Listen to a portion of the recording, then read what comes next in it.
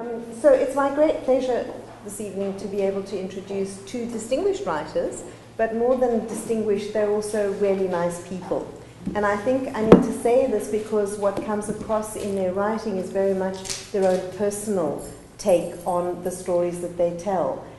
And it's not in any kind of um, indulgent or autobiographical or individualistic way, but it's an understanding of the humanity that is behind the stories that we remember with fondness and that we also remember with a little bit of nostalgia.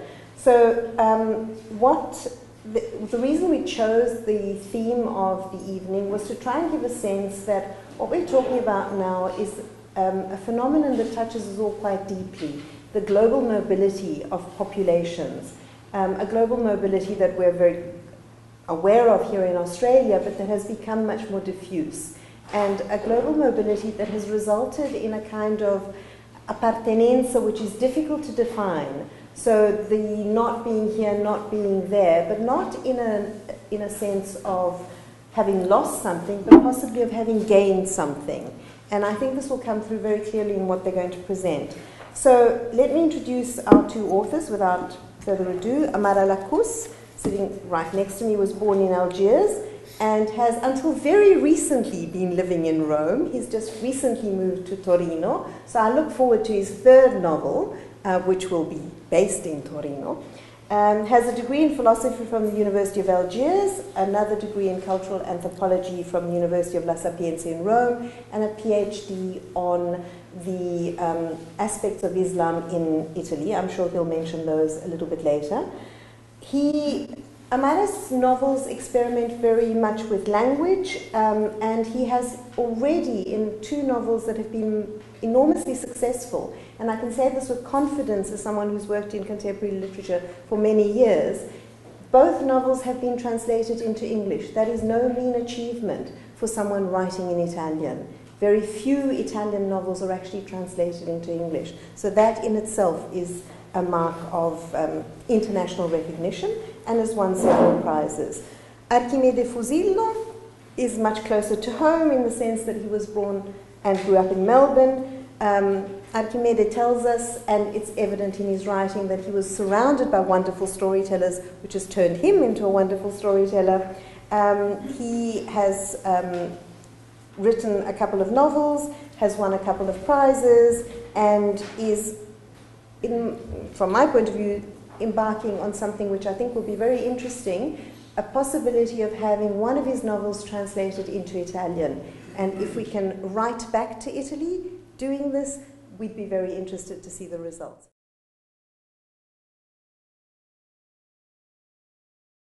Amara gave me an in. He said, choose a language. Choose a, but which language? When I was a, a little boy, I had many languages. At home, I had what I thought was Italian. it was dialect.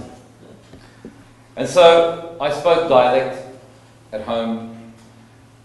I didn't know English. English was a foreign language. I was born in Australia. It's an odd thing to say. But for the first five and a bit years of my life, English was a foreign language. It was something that others spoke. I spoke to my nonna, my grandmother, in what I thought was Italian. And therefore, you'd hear words when I went to school and we were taught formal Italian. And we would argue that chemista was a real word. And footpath was a real word. And fenza was a real word. Choose a language. I think that's the thing that my father taught me most, there was a need to choose a language. My father was very proud to be Italian. My father was very proud of his language. My father was very proud that he spoke dialect. But my father insisted that we also, in some way, learn Italian. But I'd like to begin by talking about the impact it had on me language. And how language very often makes you feel dislocated. Language can be inclusive, and language can separate you. And I didn't understand that as a child because I didn't understand the power of language. You make an important quote I, I read of yours, and you said, and I hope I get it correct, you said, one acquires freedom through language. You also said the ability to communicate offers status. When I read those two comments, it rang so true for me. And I'd like to give you an anecdote. When I was a, a little boy, I went to a lot of parties, of course. All my cousins had birthday parties and had communions and confirmations. And so we went to these parties. There was no need for a formal invitation. Non c'era l'invito. You just turned up and went. But I played football. I played uh, football in the park. And in playing football, I made friends with people who were not Italian. And I made friends with a particular young man who was Anglo Saxon. And so one day he did me the great courtesy of inviting me to his party. He didn't just invite me, he gave me a, sheet of paper, an invitation, which I'd never seen before. I'd never seen an invitation before. And so I, I took the invitation home. I could read some of it, but there were three words printed at the bottom, which I did understand. And the three words were quite simple. The three words were bring a plate. bring a plate. And so I went to my mother, cara mamma, and I said, Mamma, sono invitato a un compleanno, questo invito. My mother went, Oh, you have an invitation? Oh, this is very, very nice. And then my mother read it and said, uh, When's the party? I said, It's at so and so's house, this is the date. And then she looked at it and I said, What's the problem? She said, What does this mean? I said, ah, bring a plate. I said, I have to bring a plate. she said, you're going to a party and you have to bring a plate. I said, yes. She said, so you're going on a picnic. I said, no, I'm going to a party, I have to bring a plate. And I had no idea what that meant. So we took it literally. So I said to my father, Papa, I'm going to a party, I have to bring a plate. My father said, oh, well, non facciamo vergogna, no, let's, let's, let's uh, not make a scene. Let's make sure you bring a nice plate. And so my mother went through all our cupboards looking for what would be a nice plate. She couldn't find them. We had lots of plates, but she couldn't find the plate that she thought was a nice plate. And so, in order not to embarrass ourselves and not to embarrass my mother and my father, my mother went to Victoria Market and she bought a plate. She bought a beautiful jade plate. She also bought some ribbon and she bought some cellophane paper. And my mother wrapped this plate in cellophane paper and with a ribbon. She also bought a gift. And little Archie, he was about that tall, about that wide. It was my grandmother fed him. I went to the party. I said, hello, my name is Archie. I've come for the party. This is a gift. This is a plate. And the lady said, I beg your pardon. I said, okay. I said, my name is Archie. This is a gift. This is a plate. She said, you brought a plate. I said, yes, I brought a plate. And so we went inside. And there was this beautiful table all laid out with all these beautiful desserts on them. And she put my plate there. And she unwrapped my plate. And of course, my plate was empty. She said, Archie, you brought a plate. I said, yes. She said, bring a plate. I brought a plate. She said, why did you bring a plate? I said, it said, bring a plate. I brought a plate. And the lady said, but your plate is empty. I said, yes, it's a plate. but she was very kind. She said, Archie, go and play. So Archie went off to play. And a couple of hours later, we came inside, we cut the cake, and we sang happy birthday. I just stood there because I didn't know how to sing it in English. And then she gave us each a gift. She gave us all a lolly bag. And I took the lolly bag. And then she also said, Archie, this is also for you. She gave me the plate. And I said, what's this? She said, it's the plate. Mm-hmm. But this time the plate had biscuits in it. And she'd wrapped it again. She said, Archie, please take this home to your mother. I said, oh, thank you. She said, tell your mother we appreciate the plate, but obviously you need the biscuits more than we do.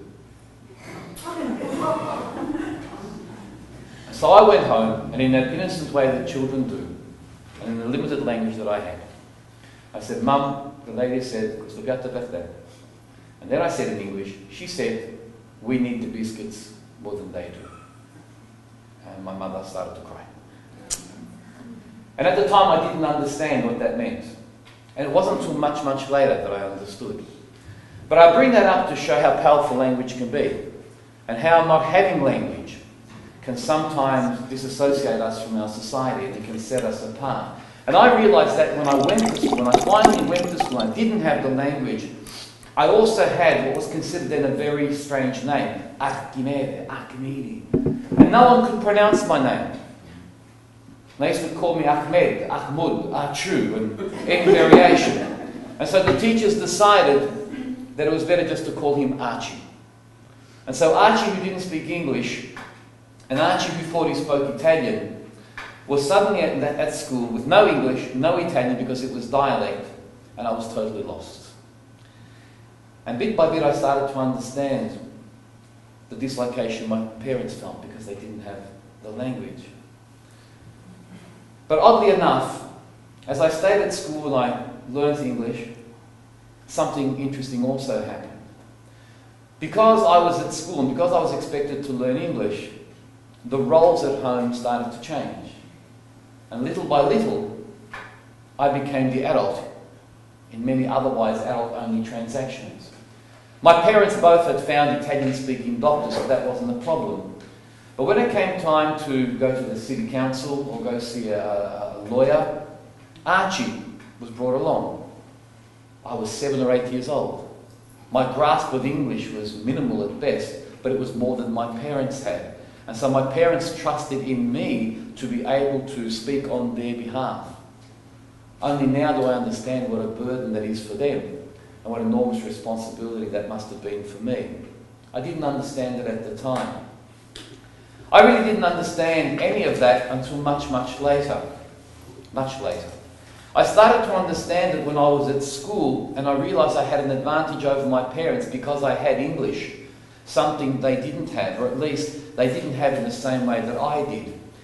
Because I went to school and because I learnt English and because I was around people who spoke English, I went home and I insisted that we speak English at home. I said to my father, You've been in this country long enough. Aren't you embarrassed that you don't speak English? My father said, But I speak English good. I said, Dad, I said, I'm embarrassed to bring my friends home. Why? Because my father, God bless him, my father would not say to someone, Excuse me, what's your name? My father would say, Hey, which name you got? and I would find that really embarrassing. My father would not say to my friends, How come I haven't seen you in a long time? My father would say, Hey, why I don't see you long distance? so there was this bastardization of the language, and I thought I was superior because I knew grammatically how English should be spoken. And so I used it to my advantage. And so I would tell my parents things, for example, that they weren't expected to understand because they didn't have the language. And so if I got suspended from school, I was sent home early. My father would ask me, Why are you home? I would say, Well, Daddy, in Australia things are different. In Australia, if you're like me, you work very, very hard in school like I do. The teachers have to give you time off until everyone else catches up. That's what being suspended means in Australia. And so we had all these advantages of language. But I didn't really understand them until I was 10 years old. And when I was 10 years old, my father took us all back to his paese. He, had, he hadn't been back for 20 years, and we went back. And I remember we, we arrived at the village, and we pulled up in a little minivan, and it was drizzling. And I was 10 years old. And I got out of the minivan, and then my father stepped out. And my father stopped, and my father looked around. And my father recognized a little fountain which was outside his, the home where he was born. And my father started to cry. And I looked at my father because I'd never seen my father cry before. I said, Papa, perché piangi? Why are you crying? I said, I upset you, Dad? He said, No, Figlio, no. I said, Dad, why are you crying? He said, Well, right now I don't think you can understand. And it wasn't until many years later that he said to me, He said, Let me explain to you why I was crying. He said, I was excited to be back in my own village. He said, But at that moment, I realized that I didn't belong there and I really didn't belong in Australia. He said, My village and my people had moved on and I'd gone elsewhere. And he didn't use the word dislocation because my father wouldn't have used that term. But he said, I felt apart. And what set him apart was the language. And this seems quite trivial. But looking back now, I realise that even the young people of his village, to which my father was connected through his dialect, through the native language, they had moved on. Very few of them spoke fluent dialect anymore. They had gone to school, they were educated, they spoke fluent Italian. And my father found that when he spoke the language that he remembered from his childhood and his teenage years, they no longer used that language. And so my father, not only did he not have English, he didn't have his dialect anymore. And so he was in a person in transition. And what's really interesting about that is that it made me realise that so was I. I'm the son of migrants, but I was myself in transition, caught between those two places. And it only dawned on me much later that I never read those stories. No one ever told me the stories about the experiences of the migrant. Oh, we had stereotypical stories. The nonna always wore black. The Greeks always owned fish and chip shops. The Italians always worked in factories on concrete. But they weren't really my stories. No one ever wrote those stories down. And so I made a promise. The promise was that one day, if I mastered the language sufficiently, I would start to tell the stories. The stories that are tied to language, the stories that are tied to identity, the stories that are tied to place.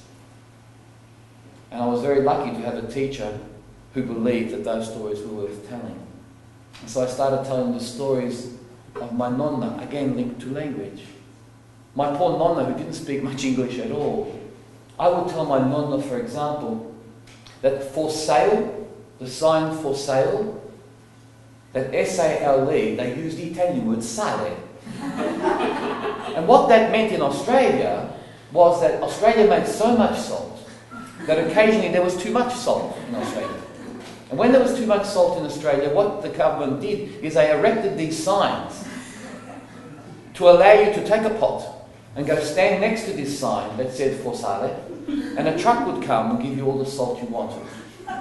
And my poor nonna would go and take her friends with her with a pot and wait for a truck to turn up to deliver the salt. That's the tyranny of language. That's the tyranny of language.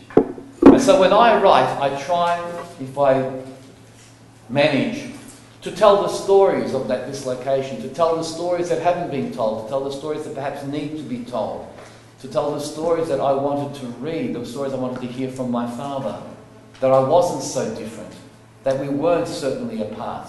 We were just trying to fit in. We were trying to find our way. And I was trying to find my way through the language. And the language became a cement. My father did something extraordinary, I think, for someone of his generation. My father left school when he was very young. He left because he had to. His father died. They couldn't afford to keep him at school. And I would watch my father sit at the kitchen table and he would pore over a book and I would watch him. I didn't know what it was he was doing until much later. My father died about a year ago. And one of my most precious possessions of my father is this little book here. L'inglese in tre mesi. It's got my father's signature at the top. That is my touchstone to language. Because my father would sit and he would pore over this book to teach himself English. And then he would buy the newspaper and he would try to read the newspaper from cover to cover with this book beside him so that he could look up the verbs and look up words he didn't understand. That is an amazing thing for someone to do. For someone who left school when they were about eight years old. And so what my father did, because he realized the importance of language and the importance of our stories, my father would sit me down and he would try and teach me not just verbs in Italian, he would try and teach me the English verbs.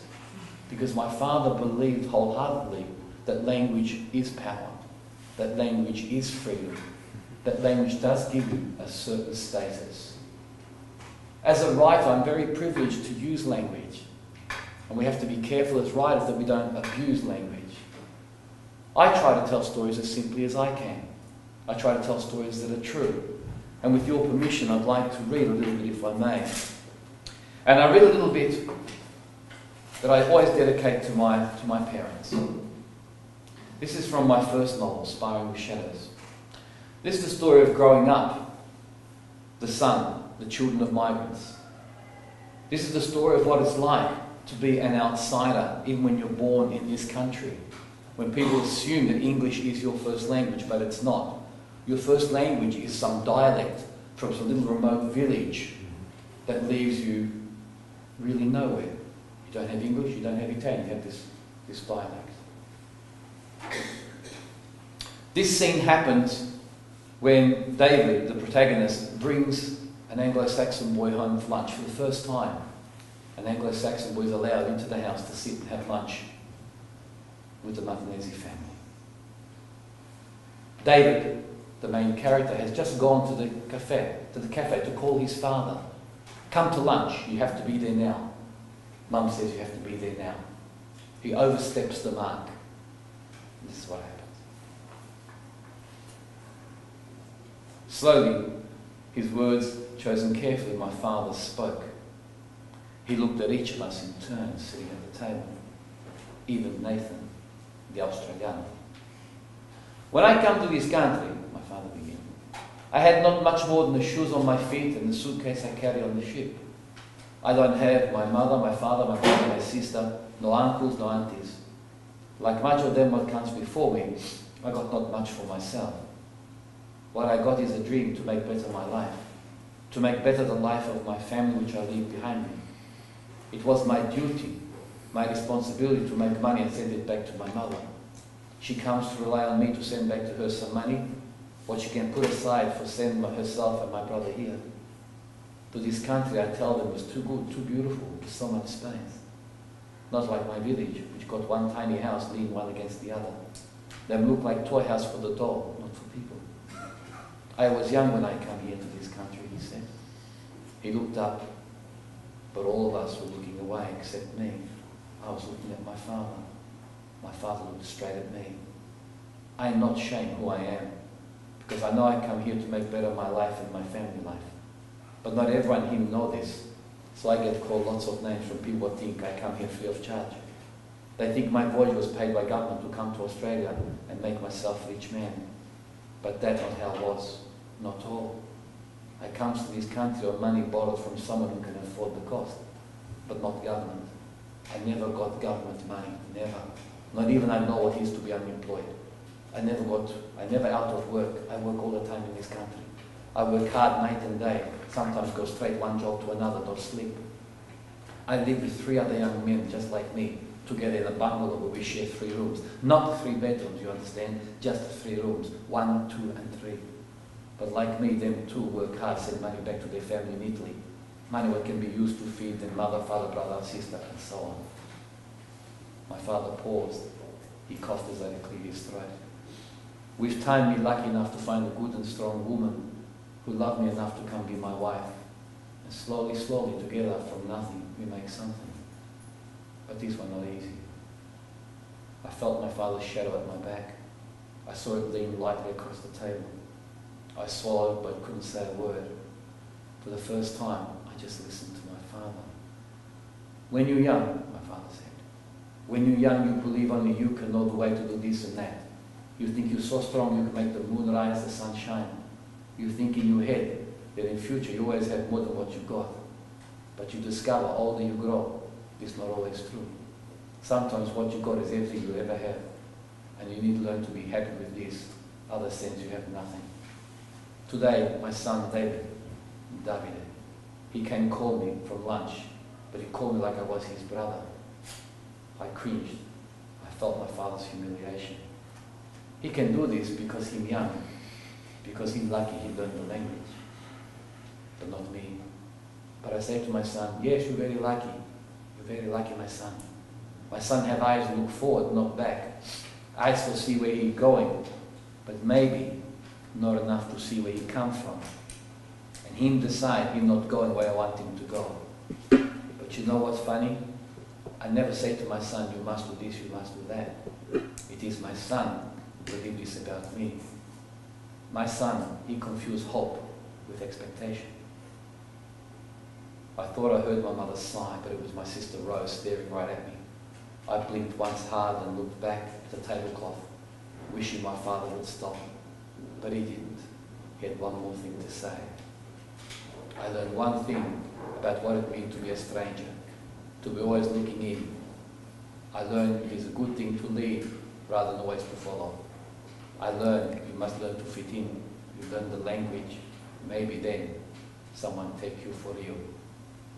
My father stood up. He pushed his chair back. I didn't look at my father. I looked at my hands. I couldn't look at my father. His words were ringing in my head.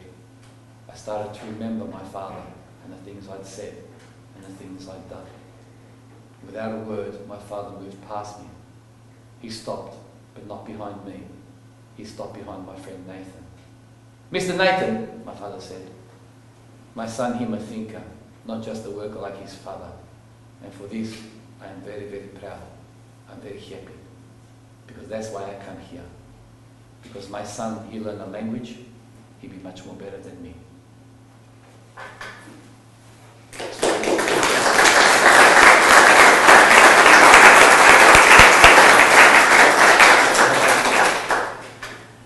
So I think that language is powerful. Stories are powerful. Language engages us. Language can disengage us. One of the most important things I've realized over the last couple of years is that we take words on board and we can kill them. For my father, words like wog, dago were menacing words. They're words that cut him, that hurt him. But luckily, we have reappropriated those words. We've taken them on board. And what we've done is we've lessened the connotations of those words.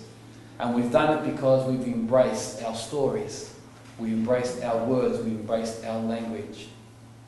I wish I spoke in, uh, Italian better than I do. I speak it enough to be understood. And I think I speak it enough to honour my father and my mother. Because if I abandoned their native language completely, then really what I'm doing is I'm abandoning something of myself and my heritage and who I am. But more importantly, I think, I abandon who I might become. I am a writer, but I like to think I'm much more than that. Maybe, in some way, I chronicle the life of people who have stories to tell, but maybe, maybe just lack the language to tell them. Thank you.